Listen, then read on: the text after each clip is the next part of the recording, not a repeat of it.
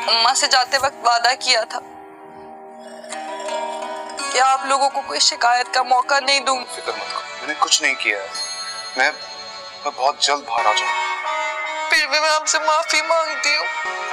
हर लड़की की तरह मैं भी चाहती हूँ कि एहसान फरामोश ड्रामे के लास्ट एपिसोड में क्या होने वाला है? यहाँ पर जो फलक है वो कबीर के अलावा पैसों के लालच में क्या हमजा को अपनी मोहब्बत के जाल में फंसा पाएगी? क्या आखिर में कबीर फलक को तलाक देगा या फिर दूसरी तरफ़ हमजा और नवाल की शादी होने वाली है? मैं आपको बताता हूँ, वीडियो को आखिर तक लाजमी देखिएगा। यहाँ पर कबीर के सामने फलक का आहिस्ता आहिस्ता उसका बहरूपिया चेहरा सामने आ जाता है और वो ये जान लेता है कि फलक का मकसद क्या है। सिर्फ़ और सिर्फ़ पैसा। उसको पैसे के अलावा किसी चीज़ से मतलब नहीं है, जिसके पास भी पैसा होता है, वो उसकी तरफ़ खींचती चली जाती है। कबीर ने फलक की खूबसूरती देखकर उससे शादी की थी और बेनतिया मोहब्बत कर बैठा था। लेकिन आज उसको एहसास हो चुका है कि उसने ये बहुत ही गलत फैसला किया है और बिल आखिर वो फलक को तलाक भी दे देता है। यहाँ पर जो फलक है, वो अपना एक और हथकंडा इस्तेमाल करती है। वो हमजा के पास आती है और उसको अपनी तरफ़ माइल करने की कोशिश करती है अपनी खूबसूरती की वजह से।